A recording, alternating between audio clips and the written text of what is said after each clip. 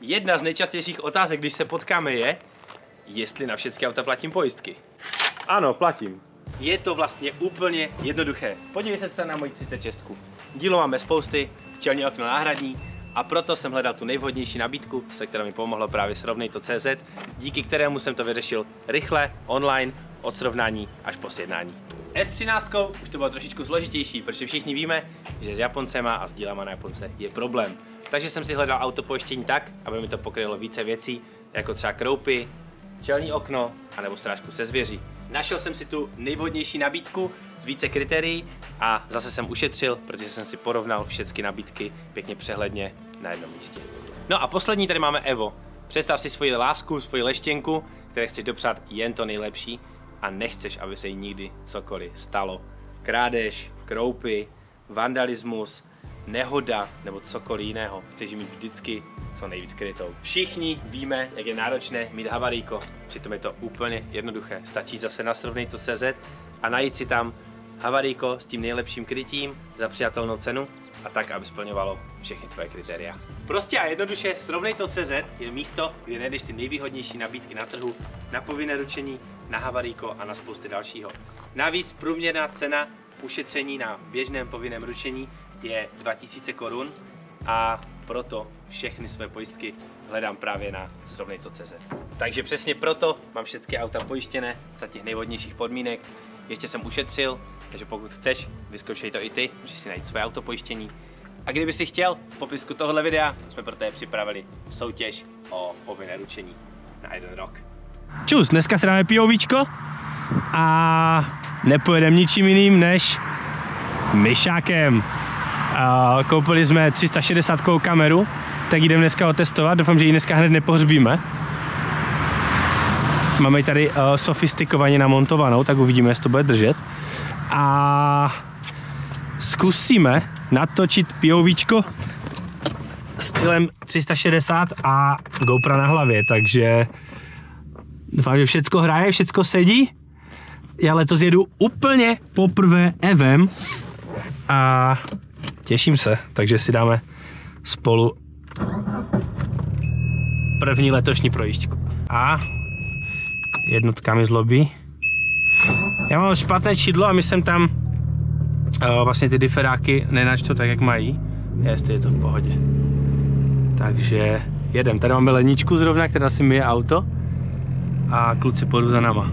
Dáme si takový náš oblíbený okruh, který se skládá ze spousty motaných zatáček a, a dlouhých rovinek. Jinak mám už poflokované oba sloupky, i tenhle, i tenhle. A budíky už fungují, tak mají. Trošičku to ještě zahřejem, já jsem s tím sice jezdil. Jo, tady se staví nějaká tráť nová. To jsem zvědavý, co to bude. Uděláme si takový okruh prostě okolo tady. A vyzkoušíme si Evo po zimě, jak všechno funguje. Já, mi to chybělo. Já jsem odsaď teda vytáhl uh, normální pásy, teda uh, pásy sportovní, tak já jsem tady jen ty normální. A chci to držet v tomhle stylu, prostě clean. Nechci do toho dávat ani pásy asi zatím. Samozřejmě spousta lidí se pořád ta, jestli budu odlepovat ten design nebo ne. Uh, časem ho určitě sundám, teďka ho tam chci mít, protože se mi to líbí k tomu, uh, k tomu designu uh, těch karbonů a tady těch všech věcí takže ho tam teďka zatím necháme.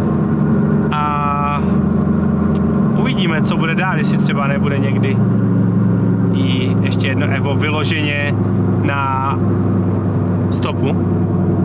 Protože tohle už na stopu moc není, co si budem.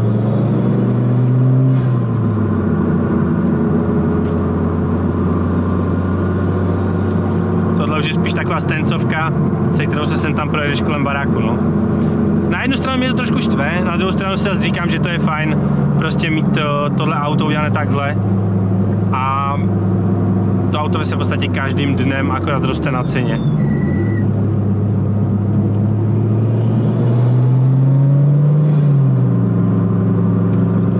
Mě baví, jak to auto podvozkově funguje. Prostě já jsem se fakt vozil, a říkám to už po 10 tisícáté, já jsem se vozil ve spoustě autech, ve spoustě drahých autech a prostě ten feeling z toho Eva je prostě vždycky úplně nejlepší. Nechci to jako přechválit ani vyhrotit, ale pro mě Evo jezdecky to nejlepší auto, ve kterém jsem kdy jel. A nic mě nebavilo zatím tak, jak tohle.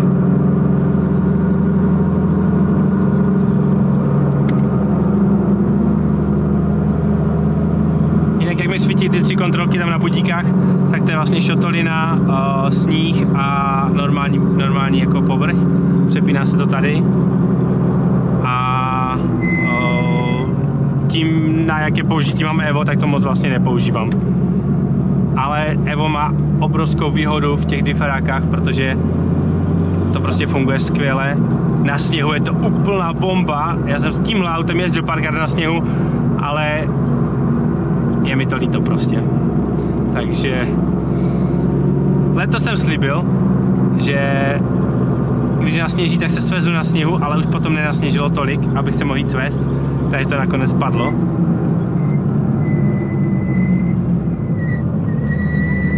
A ty pískající brzdy mi chyběly úplně nejvíc asi.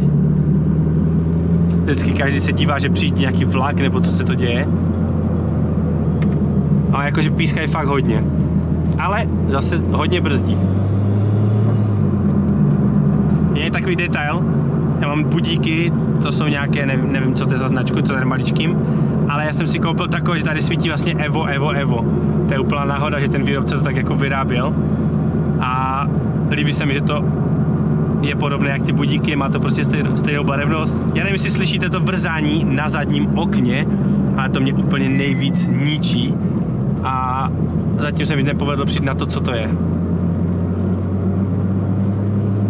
ale zase je fajn, že prostě v tom autě jedeš a vnímáš každý zvuk, každého prostě zavrzání, eh, každé eh, prostě praskání plastu a všechny tady ty věci. To mě na tom baví, ta surovost. se v podstatě tady nic není v tom autě, tady je turbo timer, který je dodělaný, ovládání teploty, ovládání síly ventilátoru, kam to má foukat ten ventilátor. Jedno se mi takhle stalo, že jsem zastavoval na přechodě a my teda máme takovou skupinu ve Frenštátě, nějaké stížnosti nebo něco a paní tam psala, že uh, žluté Mitsubishi, že dobržďovalo tak, že mu pískali brzdy agresivně. Přitom jsem jel normálně po městě, jako ty brzdy prostě pískají a lidi na to nejsou zvyklí. No a když se vrátím k tomu interiéru, takže tady je vlastně ovládání teploty a větráku, rádio, výstražné a ovládání diferáku, tím jsme skončili úplně jednoduché a čisté auto. Samozřejmě hodně udělal to, že jsem vylakoval ten interiér. To se dost změnilo. Tak, teď vyjíždíme za město na můj oblíbenou esovitou zatáčku. V Evu nejvíc jede 2, 3, 4, to je jako nejčastější, nejčastější rychlost, která prostě funguje nejvíc. A 3, 4 si fakt užíváš hodně, ještě tím, jak to jde jenom rovně, tak je to úplně bomba.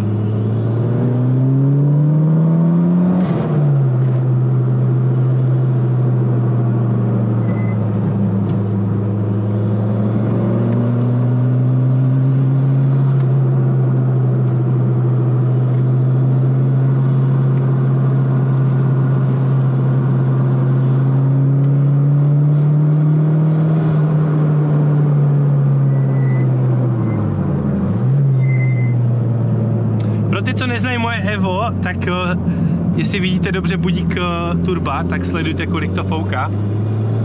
Je to tím, že je to maličké turbo, tak to docela dost tlačí, ale já vlastně, když jsem to auto renovoval, tak já jsem do motoru nevrtal, jakože jsme nerozhazovali prostě vrch ani spodek, udělali se jenom rozvody a základní věci a ten motor funguje, musím zaklepat, tři roky úplně skvěle.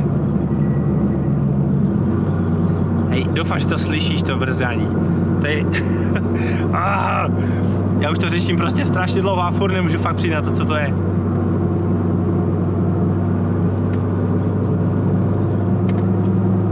Jinak Evo má celkově dost malý rate, ale vidíš, že to řízení prostě funguje úplně na přesno. Jo, je to...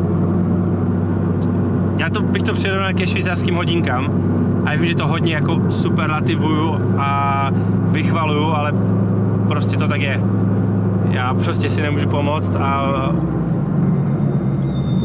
baví mě, že to auto prostě neskutečně funguje. Samozřejmě je to i o tom, že tu mám nějaký setup, není to běžné stock Evo, to Evo tak nejede, nemá to takový podvozek, není to tak prostě vyladněné a udělané, ale i tak je to skvěle funkční. Já jsem měl od Martina Prokopa půjčené jeho tréninkové Evo a on tam dával pneumatiky z dodávky, protože potřeboval, aby to mělo co nejmenší grip a aby to jako letělo. A měl tam právě stok výkon, protože se o tom bavili, že on to nechtěl hrotit skrze, skrze tu výdrž toho motoru, protože to si budeme těch motorů už, už tolik není. A vím si, že tam je 2 litr, ze kterého vyta, vytažených bezpečných 370 koní, na kterých jezdím 3 roky, na nějakých 512 krouťák. A prostě funguje to úplně bez problémů a má to úplně neuvěřitelný průběh. Je to i tím, že tam je to maličké turbo, ale cooler jsme dávali nový, můžeme si ho pak ukázat. A ten není úplně nejmenší. Bál jsem se, jestli to trošičku nezhorší, nezhorší tu turbodíru, ale je to úplně v pohodě. Mám teďka čtverku 60 km za hodinu, 2,5 tisíce otáček a prostě tomu šlápnu a ono se to začne hned sbírat. Já doufám, že slyšíš všechny ty projevy toho auta, jak se to nafukuje a jak to prostě všechno vrže a tak. A užíváš si to stejně tu jízdu. Každopádně určitě mi určitě mi napiš pod tohle video, jestli tě tyhle POVčka baví a my je budeme samozřejmě točit častěji.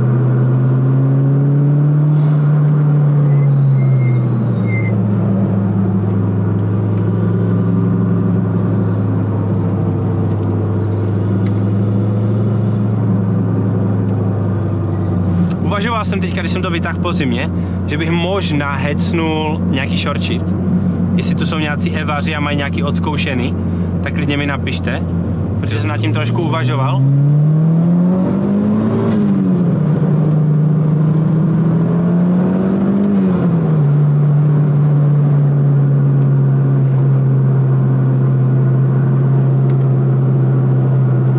Ono těch 4000 slyšíš, že to má takový uh, beast mod úplně. Hlavně díky těm brzdám a díky té váze a tomu všemu, jak to funguje, si můžeš dovolit najíždět k těm zatáčkám a přibržďovat si fakt až úplně, úplně těsně před tou zatáčkou. Takže si samozřejmě mnohem, mnohem rychlejší.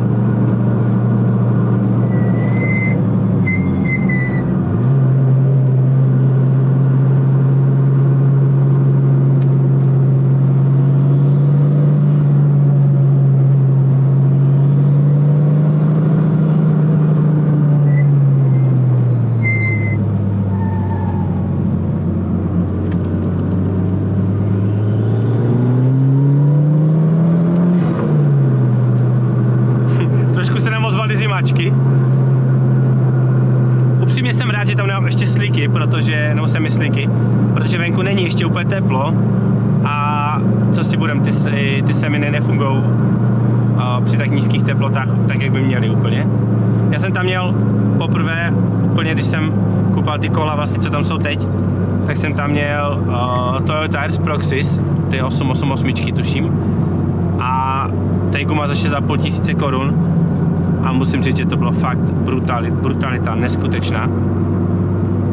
O, teďka jezdím normálně Federality RSR, protože je to 2,5 tisíce korun za pneumatiku a poměr cena výkon je úplně skvělý.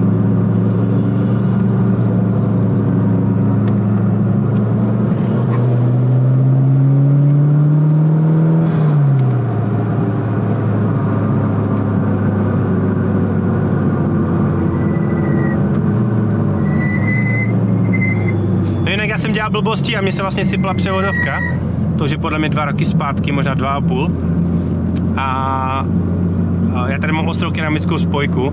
Moc jsem do toho kopl a normálně se mi rozletěla převodovka úplně na padrť.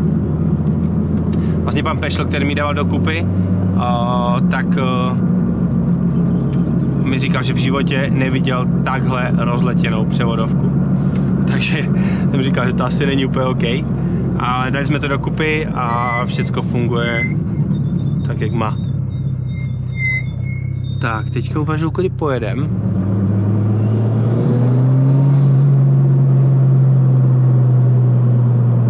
Tak.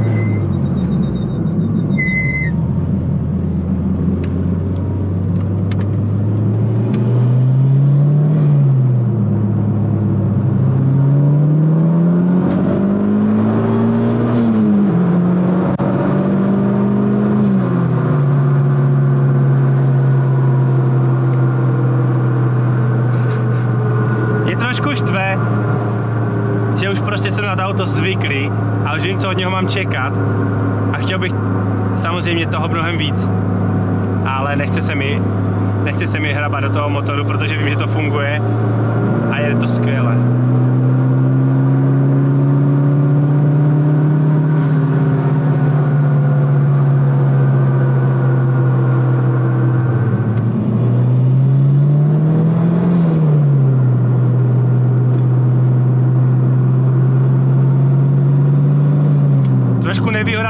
A tohohle pole že fakt každý pozná.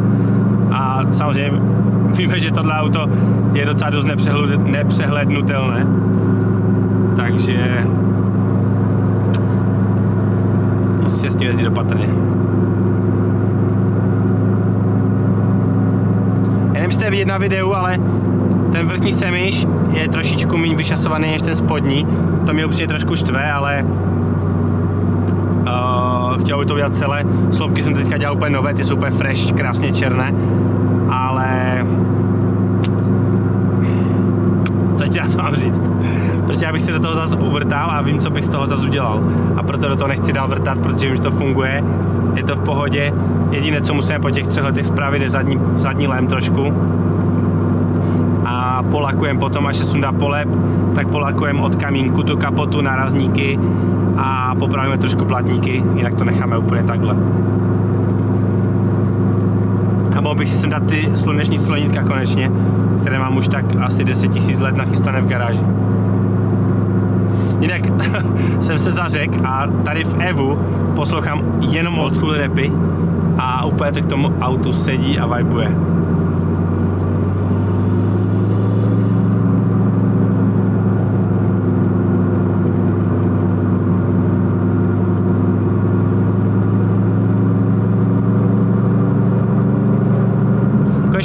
6 kvalt, protože by to možná jelo ještě líp o něco, ale o, teďka to má zase fajn krouťák a na přímku nebo takhle jako na zrychlení to jde dobře, ale maximálka je tam podle mě něco okolo 220-230 km za hodinu a dál se nedostaneš. Mě baví, jak vždycky když někdo přijde do Eva, tak se dívá první na budíky a tam je 300 km za hodinu. Tak všichni jako, to je jako nějaký asi měřítko, že jako na budíka je 300, tak je to jako sportovní auto.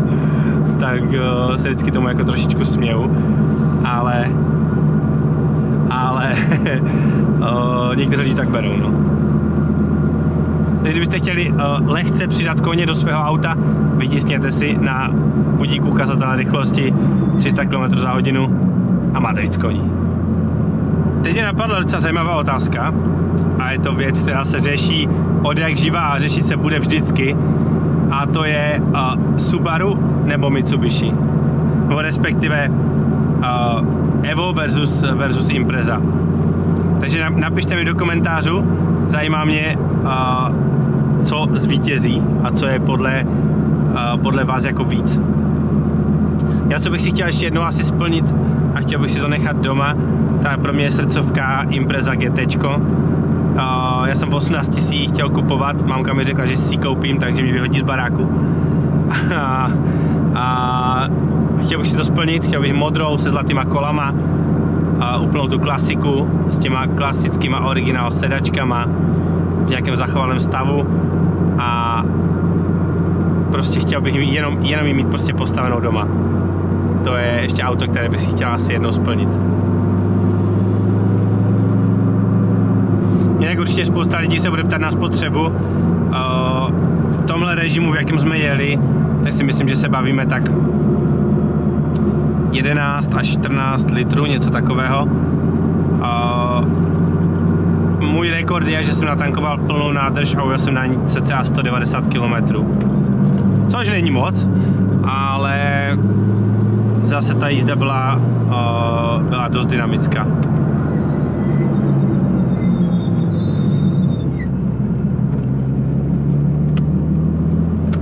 Mohli bychom si Evo vzít někam na okruh a vyzkoušet ho i tam trošku, potrápit ho. Jsem s Evem vlastně na okruhu nikdy takhle nebyl. A myslím si, že na slikách to bude velká, nebo zase slikách to bude velká zábava. A tady je ta Audinka. To vypadá moc dobře.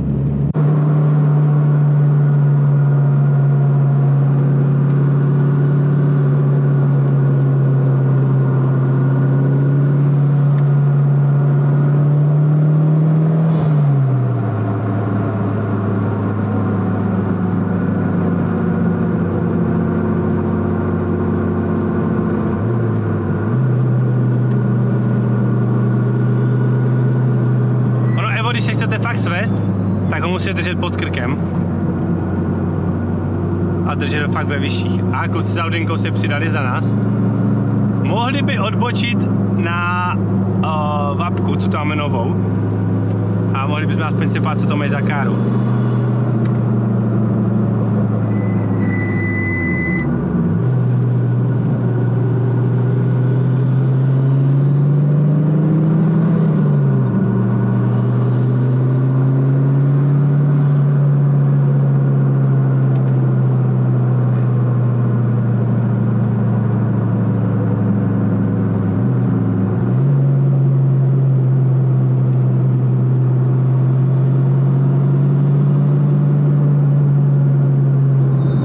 doufat, že kluci odbočí teďka tady.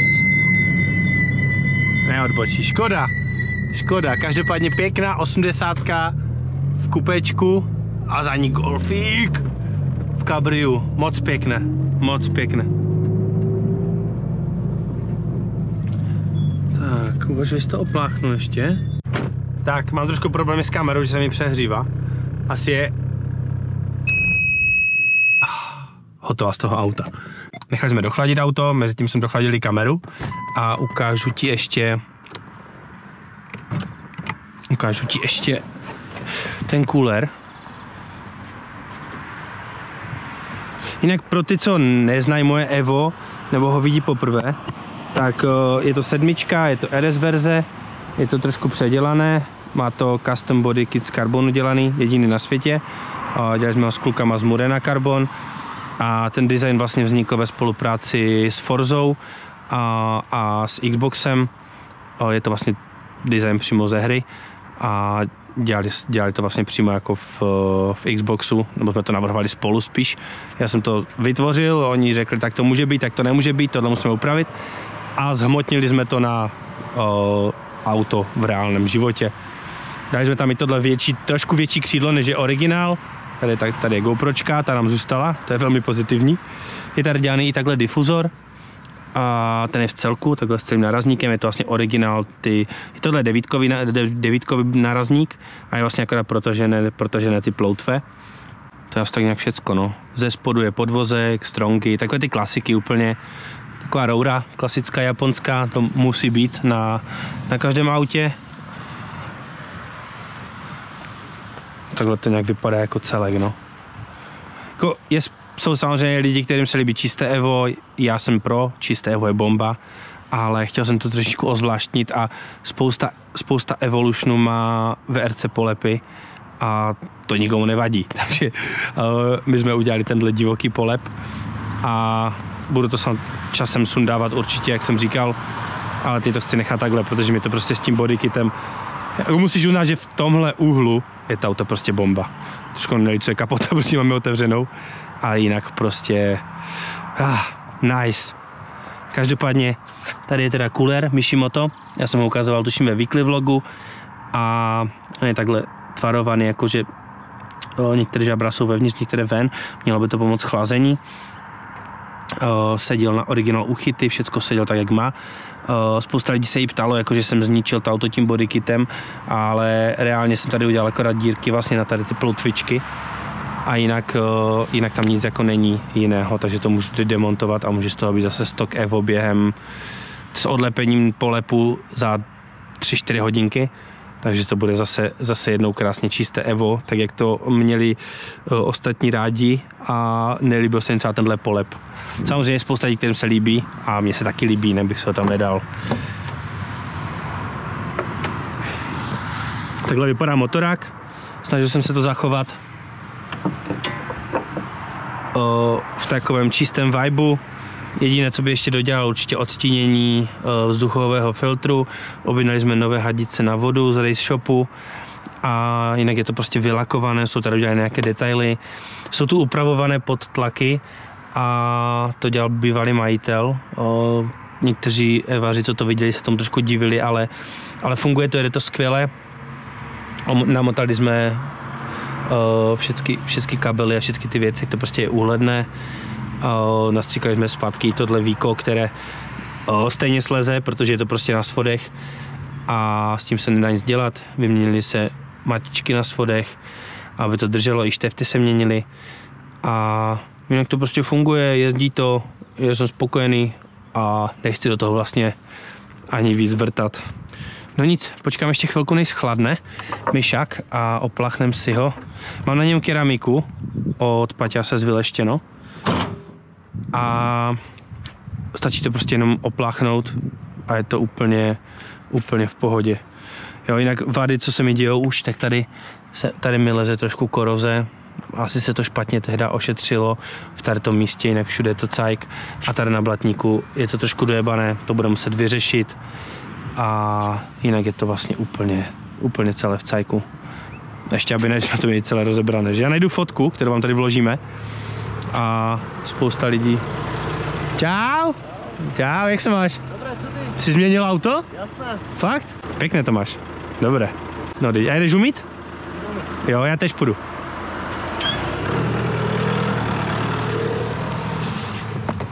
Jaj, teď si to půjdu opláchnout. Nevypadá to špatně, ta čtverka. Takový daily, daily machine.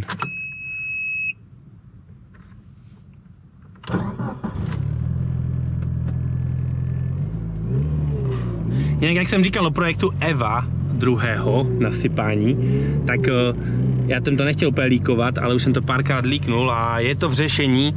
Chtěl bych prostě nějaké, nějaké auto, zase ten Golfik. Chtěl bych nějakého myšáka, možná do budoucna. Uh, ta spojka to trpí, hej. Jako že s tím na podval je úplně totální dojeb. Uh, no takže bych chtěl nejspíš i jako jedno Evo jedno Evo vyloženě jako na stopu nebo jezdit s tím víc jako na nějakých prostě Evo korzech se, za, se zástěrkama a trošku tomu dávat, ale uvidíme, co se vyvrbí a co se, co se stane.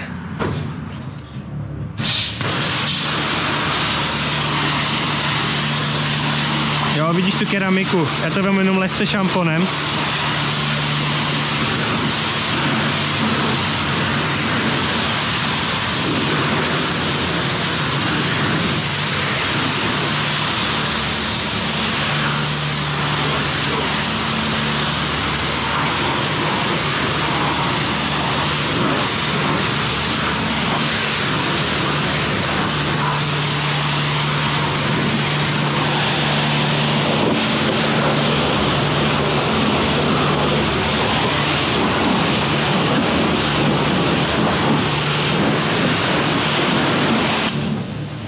to stačí.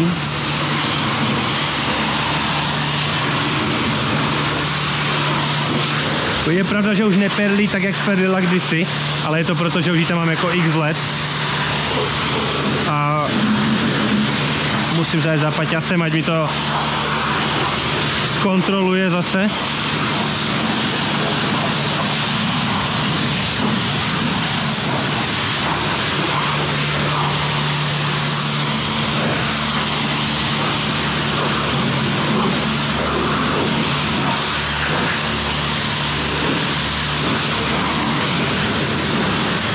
Tak jo, máme hotovo.